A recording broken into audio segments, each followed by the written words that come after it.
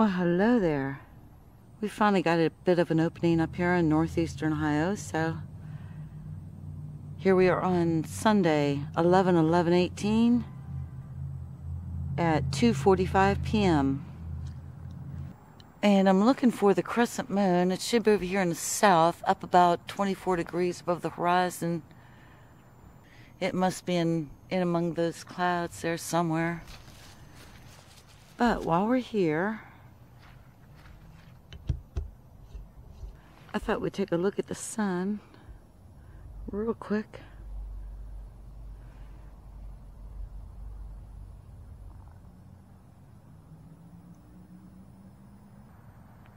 And I don't believe there's any sunspots, just like there hasn't been most of the year. And I could be wrong because I see some. right there. A nice little grouping.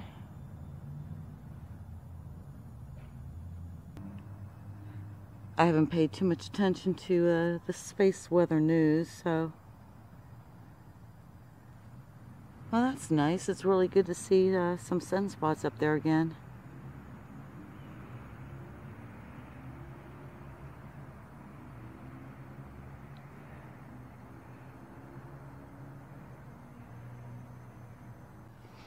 And it looks like I got there right in time before that set of clouds came over it. Um, the sun is over in the southwest and I'm still scanning the sky over to the left of it to find the uh, crescent moon. No go yet. I kind of wanted to get it now, and it's right next door to Saturn today. So there might be some uh, cool viewing there tonight. Uh, sorry about the sound, but my batteries died while I was out there filming, so I'll just wrap this up real quick. Um, I was rambling on and on. I was talking about the temperatures we've had. It's been really cold up here in the 20s, and it was actually quite nice as I was out there. It was uh, it made it up to 44 degrees, so I didn't mind being out there. But tonight it'll probably get back down to the 20s again, to the low 20s, so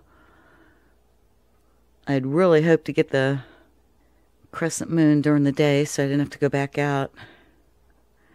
And I don't know, we'll see. I do like the crescents, and it's going to be right next door to Saturn, so it'll be a cool catch. But anyway, there was quite a bit of atmospheric disturbance up there, so quite watery. Not as bad as the other day, though, my gosh. It was really nasty then. but it's quite cool to see the sunspots there again. And later on in this footage, I was uh, tracking a plane as I did. I didn't see it until I came in to review it here on the computer, but it went right over by the crescent moon that I had been searching for for a half hour out there, and I couldn't see it. Oh well. That's the way it goes.